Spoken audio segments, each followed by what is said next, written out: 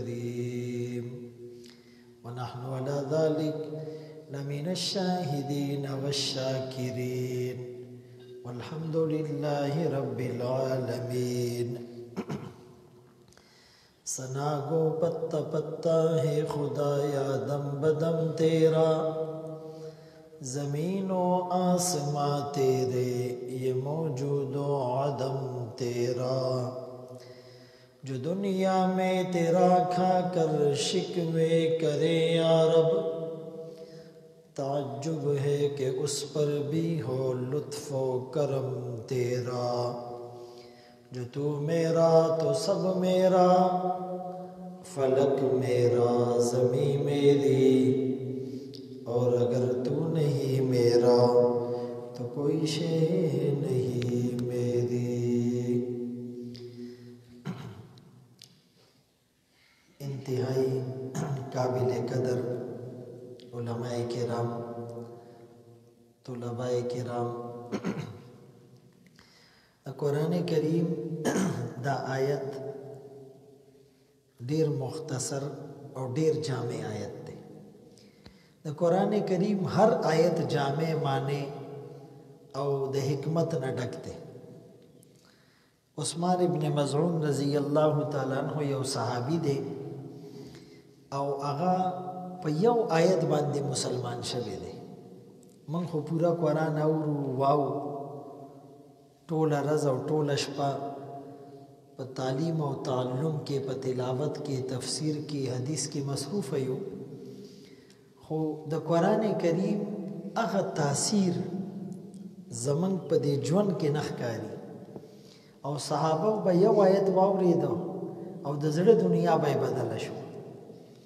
عثمان ابن مزعون رضی الله تعالی عنہ یو آیت واورید ان الله یأمر بالعدل والاحسان وایتاء ذی القربى وینها عن الفحشاء والمنکر والبغي او د دې آیت نه پس یې وفرمایل چې استقر الايمان فی قلبی واحببت محمدا صلی الله علیه وسلم چې ایمان زما زړه ته کوشو او زه محمد صلی الله علیه وسلم سره مینا کوم پیغمبر علیه السلام سره مینه کول جدا سیز دی او د مینې داوا کول جدا سیز دی موږ دواړه یو ګڼو دا ناره خو ډیره لګو کنه غلامی رسول می موت بی قبول نو مرګ رست راضی مخکې ژوند خو قبول کړي محمد کی غلامی دین حق کی شرط اول ده کنه سیرت سیر الابل نه راوته ده سیر الابل مخ د دې قافلې به وي نو د دې اوخانو یو عادت ته د خپل لین نه پریدي په قطار کې رواني نو چې ټولو نه مخ کې به کومخو هغه ته بلاره معلومه وه منزل نه به آشناو نو هغه چې به کوم ځای قدم اېښودو نو دې روستوني اوښ به هم بلکل په هغه ځای باندې خپل قدم اېښودو. بلکل ایکویلنسي به وه په هغې کې مخکې روستو به نه تو. نو که سل اوښان به د یو ځای نه تېر شوي وو نو خلکو به وې چې یو اوښ تېر شوی دی. دوره پرفیکټ بیلنسنګ او د هغې ایکویلنسي وه. نو چې څنګه روستونی اوښ د مخکیني اوښ په قدم کې مکمل اطاعت کوي دغه شان چې کله امتی د خپل پیغمبر مکمل اطاعت وکړو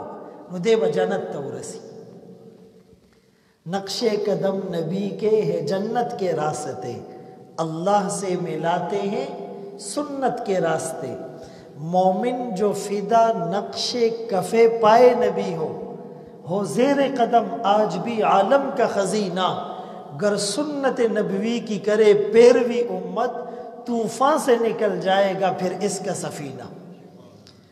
سفینه کشتۍ ته وایي وایي یو سړی یو سمندري جهاز کې بحري جهاز کې لانچ کې په سفر و شپه شوه اردو کې وایي هچکولې کھا رها تا ډګمګا رها تا پښتو کې مال دوره پرفیکټ کې نه راځي نو د ډیر پریشان شو او د کیپټن کمرې ته لاړې چې د ته وامه چې جاز ډوبېږي سوکا نو کیپټن چې دی په خپله کمره کې په صوفې باندې ناست دی او اخبار وای خو مطمئن او پر سکونه نو دی ورته وای وای جاز ډوبېږي او ته چې د مطمئن او پر سکون انداز کې ناشته تا سره غم نشته نو هغه وخاندل، ویره داسې لګي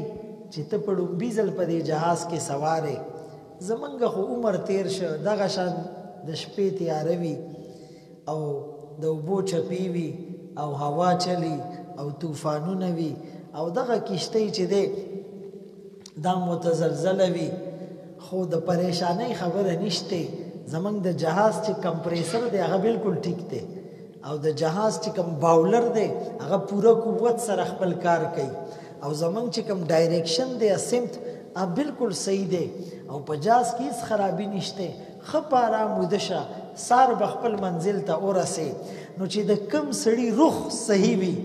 د نبی علی صلوات و سلام تابعداري وي او فرمابرداري وي نو که حالات تر څنګه قتل او غارت ګری به هم وي او ظلم او بربریت به هم وي او زنا او بدنظری به هم وي او مهنګای به هم وي خو دی به مطمئن نه څکه چې د د زړه تار الله سره ملاو دی بیٹھے جو تیری یاد میں گوشہ نشی ہو کر تو اپنا بوریا بھی تختے یو سړی په آغا خان هسپټل کې دی دا ډیر ګران هسپټل دی په کراچۍ کې په لکونو روپۍ په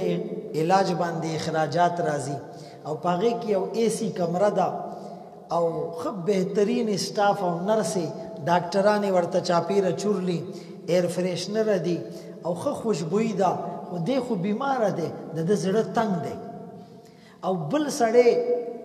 چې زړه برابر دی په یو جمعات کې ناس دی ډیر ستنه الله سره قائم او دائم ده آیا کې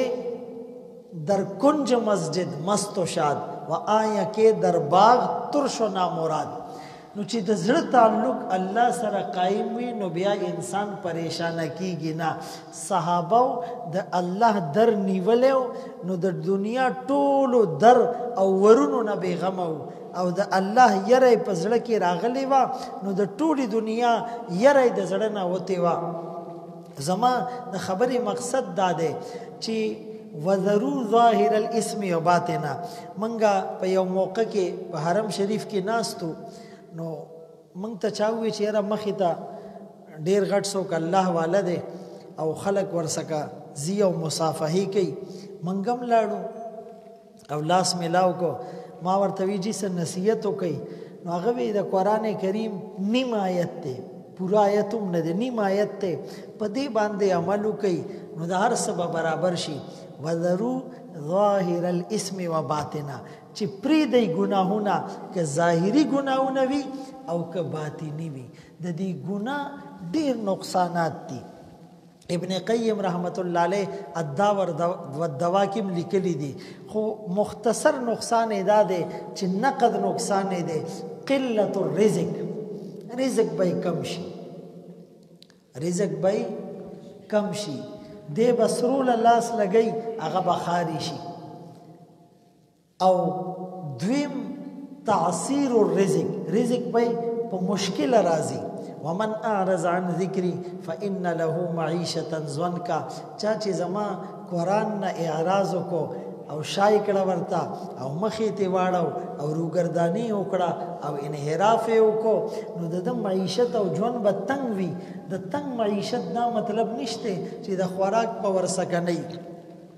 د د به جازونه د د به گاډي او د د به چې دنو بینک بیلنس وي او پراپرټي به وي او جایداد به وي او زمکی به وي او فصلونه به وي او بچي به وي او نوکران بورته ګرځي هر سیز به د سکه فراوانی وي خو د ده دا زړه به تنګ وي هلته کنټینر پساو شو او دلته ډکیتی وشوه او دلته غلا وشوه او پلانی رانه چې دی په سود کې پیسې وخوړې او دله به دوره رشوت ورکوم او بچی مې بیماره دی او ښځه مې نافرمانه ده او فصلونه مې خراب شول او باران لږ وشو او ډېر وشو او مهنګای ډېره ده د ده ژوند به د ټینشن او د ډپریشن نه فل وي دی به ټینشن فری او پرابلم فری ژوند نه تیری دی به په مشکلاتو کې وي ډاکټر ورته وای چې شوګر دې دې دا مخره او کینسر دې دې دینه پرهیز وکا او کولیسټرول دې زیات دي غوړ مخره د دنیا هر سیز د د پر رینج او په دسترس کې دې خو دې خوړې نشي نو دا قلت الرزق او تاثیر الرزق دې او دریم الاحتقار فی العیون یا فی عیون الناس چې د خلکو په نظر کې به د سپک شي نو ځکه چې یو خو موږ ګناهونه پریدو د ګنا نه توبه وکړو او دا شیطان خو ډیر خطرناک دشمن دی نو د دنه به خپل حفاظت څنګه کو ان الذين اتقوا اذا مسهم طائف من الشیطان هغه خلق چې دا غي په ژوند کې تقوا وي د الله یره وي نو چې کله د شیطان طرف نه په د باندې یو حمله وشي یو ټیک پیوشي نو دی بس کوي فورا به الله یادې د دې آیت په ضمن کې مفسرینو غالبا ابن کثیر رحمت الله علیه لیکلی دی چې د حضرت عمر رضی الله تعالی عنہ زمانه ده او یو ځوان دی هغه ټول رس په جمعات کې تیری یلازم المسجد او شپې ته جزینو پلار لا چاپی کوي او د پلار خدمت کوي نو یو ورځ چې دی عبادت یو کو شپې ته کور طرف ته روان دی یو زنانه په باندې باندې کور ته راغوښتو او د ګناه اراده ظاهر کړه د ګناه دعوت ورکو خو د الله یرا په د باندې غالب شوه واما من خاف مقام ربي ونهى النفس عن الهوى ولمن خاف مقام ربه جنتان چې کله د الله یړه په غالب شوا نو د یو چغه والا او دالته نه منډه کړه الله پاک د ګنا نه محفوظ کو کور ته ورسېد پلار لې چاپی او خدمت کو او په نیمه شپه کې په حق ورسېد خیر خلکو د د غسل تنظیم کو کفن ورته واچو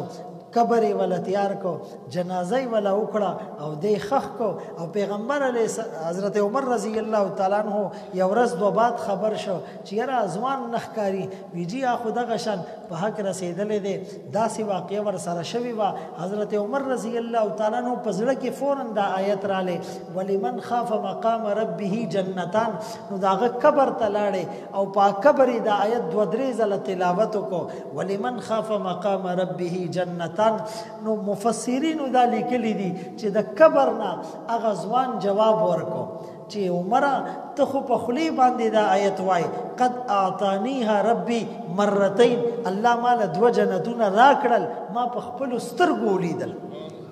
نو چې انسان کله د الله فرما برداریو کی د ګناهونو نه ځانو ساتي نو بس د هر سیس به فراوانی شي اخیری خبره کو چې موږ چونکه طالبان یو د علم د حصول د پاره راجم شویو دا ډیر غټ سعادت ده من خرج فی طلب العلم فهو فی سبیل الله حتا یرجع الله تعالی د انسان لکه فضیلت ورکړي ده په فرښتو داغي او سبب علم ده انی اعلم ما لا تعلمون دا اجمالی جواب او تفصیلی جواب علم آدم الاسماء كلها زه نور دا غي بحث نکوم نو اکثر علما دا خبره کوي چې انسان لا الله فضیلت ورکو د علم په وجه فرښتو سکه علم نو او انسان سکه علم دی ځکه انسان لا الله فضیلت ورکو زه دلته دا خبره کوم چې علم الله فرښتو لم ورکړی دی بغیر د علم تسبیح او تحمید نه کیږي نسبح بحمدک ونقدس لك د بغیر علم په امر باندې حکم باندې عمل نشي کوله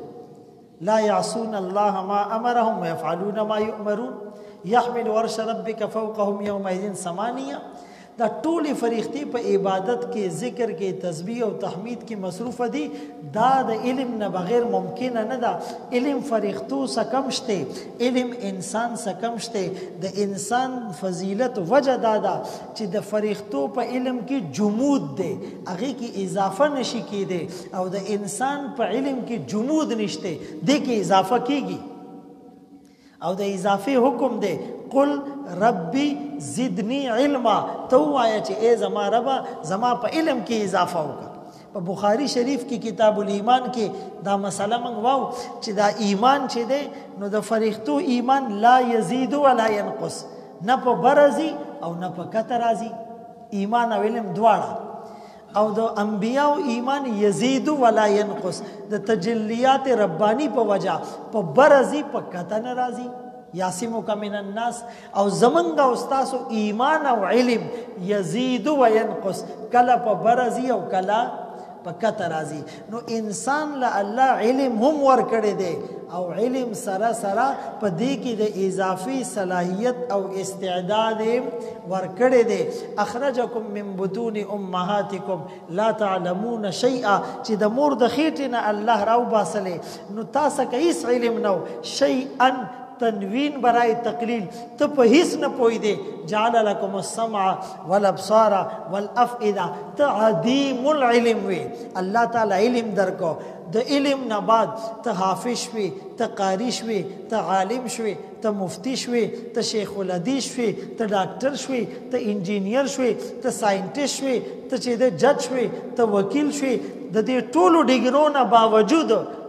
ته لوی عالم نه وما اوتیتم من العلم الا قليلا ستایلم بیان د الله په مقابله کې ډیر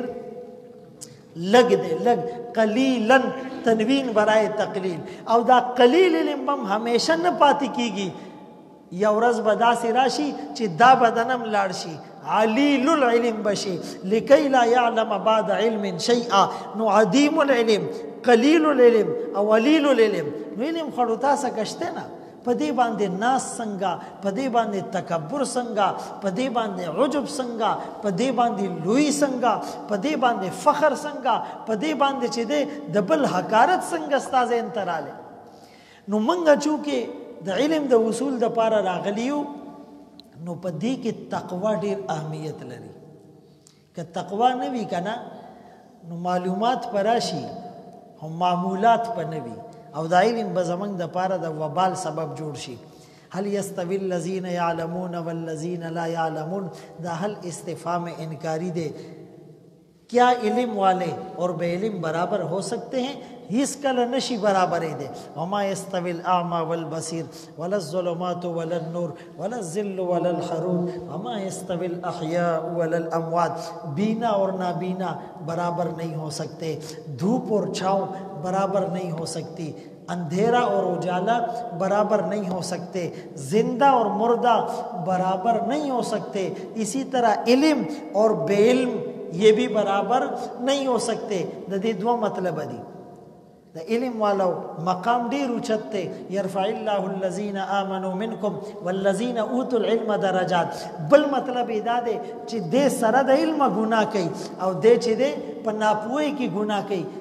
د دی سزا هم برابر نه ده د ته ډیره سزا ملاویږي ته سره د علم دا کار کوي دا خو د الله د ستارې صادر په من باندې پروت ته نو خلک راته سلام کوي که زمنګ د زړونو دا راز او احوال خلکو تخکارشول نو کې دې شي چې څوک راته سلامونه کوي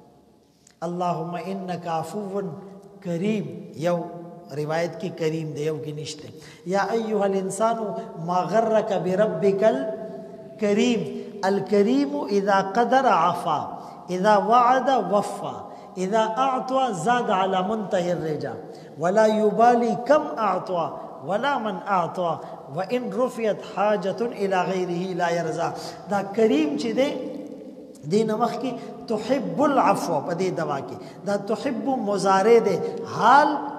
حال او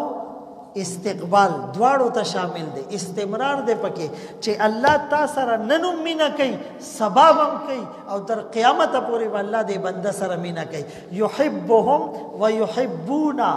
الله هم دې سره مینا کوي دیم الله سره مینا کوي خو مخ کې دې نه کوي مخ کې الله مینا کوي بیا داخلك مینا کوي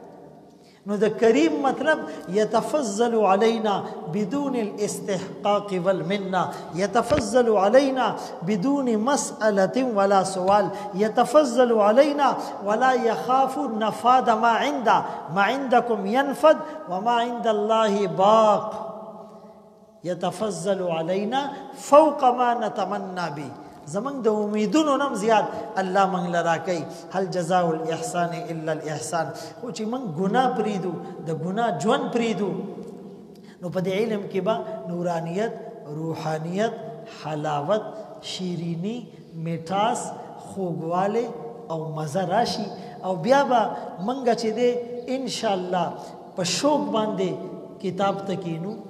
په شوق باندې با استاد ته کینو ادب او احترام ډیر زیات ضروری سیز دی انور شاه کشمیری رحمت الله علیه یو موقع کې و فرمایل چې په پوره ژوند کې د پیغمبر علی السلام خوګ نوم می چرې بیا او د سند یې غسلی منګه خو بخاری شریف ته کینو او بیا او د سبا کینو تفسیر ته بناسیو او بیا او د سبا ناسیو جمعات کې به تقرار کو او بیا او د سبا کو اشرف علي تنوي رحمت الله علیه بارک راضی کنه هغه وای چې چرې ما د په قران باندې د حدیث کتاب نه دیخې په حدیث باندې مې فقه نه دیخې په فقه باندې مې منطق نه دیخې او چې کمی کپڑے خپل ځوندو ما د استعمال هغه مې د کتابونو د پاسه نه دي ځوندې کړي او په کټ کې که روټۍ خورم نو روټۍ سر طرف ته اکدم په خپل خپو طرف ته او چې کوم عمسا او لاټي او عصا ورسکه وه نو یې د هغې هغه څیره چې په ځمکه لګي هغه مې چې د قبلې ته نه ده مخامخ کړې دومره ادب یې کړی دا ځکه خو منګه چې نن نوم اورو نو ویخته را باندې ودرېږي پنځلس سوه کتابونه یې لیکلي دې نه زیات قلمي نسخې وې کاغذ بنو قلم بنو سیاهي بنوه لرګي به کټ کول دا خونن سبانه د میموري کارت کې در سکار سپراته دي ادب ډیر ضروری دی الدین كله ادب موسی علی السلام کوه تور تلاړه حکم ولا الله صبر کا فخلع نعلیک خپل چپلې وباسه حالانکه خو جومات نه و خو لکه دا د ادب تقاضي دي با ادب با نصیب بے ادب بے نصیب یو خبره خدا دا چې ادب سره علم حاصل کړي د ګنا نه ځان وساتي او دویمه خبره اکثر مرګري وایي چې یره دا خبره مشي چې په دې دور کې فتنې کمی دي دا غي نه مونږ ته اگاهي وشي دا غي فتنو صد باب بسنګ کو نن لس کال بعد کم چیلنجز را روان دي زمنګ اکابرینو په خپل وخت کې چې کمی خبرې کړې وي ا 200% صحیح وي سل فیصد نه دو سوه فیصد صحیح وي د هغه زمانې مطابق د هغه حالاتو مطابق هغه وخت کې چې سر روش چلیده د هغې مطابق خو نن که هغوی وي هغوی به هم دې څیزونو کې توسع او وسعت پیدا کړی تلفیق په فقه کې او قاعده د تاسو پې ښه پوهېږئ علما نو دا د دې د پاره دی چې کنه نه غي وي غي به ضرور دی حالات مطابق د نوو چیلنجز طرف ته منګه مایل کولو نو ځکه چې منګه په خپل شاګردانو کې داسې یو کرایټیریا جوړ کو یو چانټي پکې وکړو چې په دې کې د حدیث د میدان د پاره بسو کې د تصنیف د پاره بسو کې د خطابت د پاره بسو کې د میډیا او د ماس کمیونیکیشن د پاره بسو کې زه اکثر مرګرو ته وام موږ بیان کو زر دوه زره خلک واوري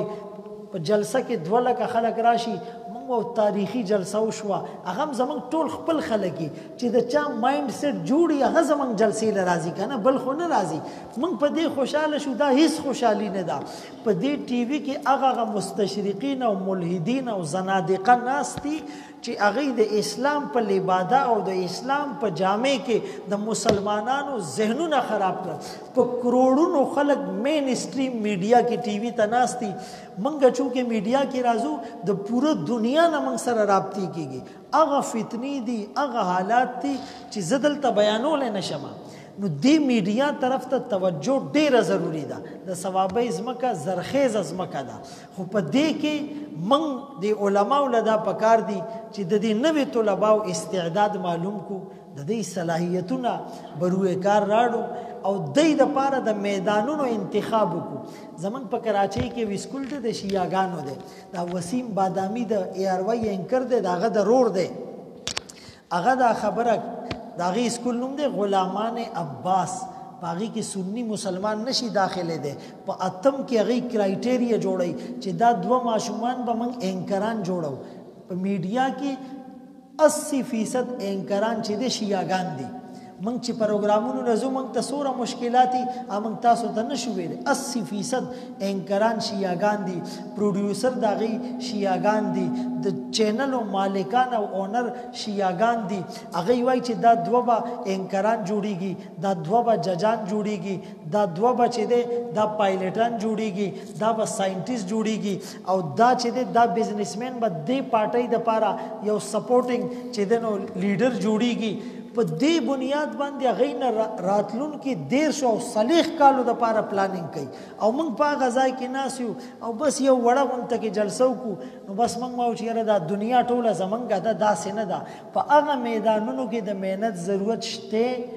مخکې نه زیات ضرورت دی په راتلونکي وخت کې به زمونږ دا بچي دا زمونږ نه مخکې به خلکو بچې اغوا کو غیب به کا نن بچې زما په غیږ کې دی بچې زما په کور کې دی بچې زما په جمعات او مدرسه کې دی بچې ما سره پټی کې دی بچې ما سره گاډي کې ناست دی بچې زما د ستر ګړان دی دی خو داغه ذهن زمنګ نه دی اغوا شوی دی نو کچري من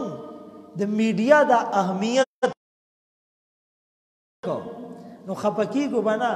بیا به کار ډیر خرابي نن نشل کال مخ کې چې چا ویلیو چې په دې مرাজি نن په خپل راضي او مونږ ته وای چې ورشي خو هغه شل کال چې مونږ بیکورډ او رستو پاتې شو دا غي نقصانات خو زما په خیال چا نه پټ نه دي د اکثریت نه باوجود مونږ سره د اقلیت په شان معامله کیږي او دا خبرې دا تقریبا هغه خبرې دي چې نن نه شل یوش کال مخکې مفتی نظام الدین شامزی شهید رحمت الله علیه نه ما په دې خپل غوګونو په دور حدیث کې اوریدلې دا هغه خبرې دي خدای خلکو سوچ او دورندې شو هغوی به ډېر لرې کتل. الله دې موږ ټولو له په دې خبرو د عمل توفیق راکړي. ستاسو د ادارې له دې الله خوب ترقي ورکړي او الله پاک دې زموږ د نجات ذریعه وګرځي. واخر دعوانا الحمدلله رب العالمین.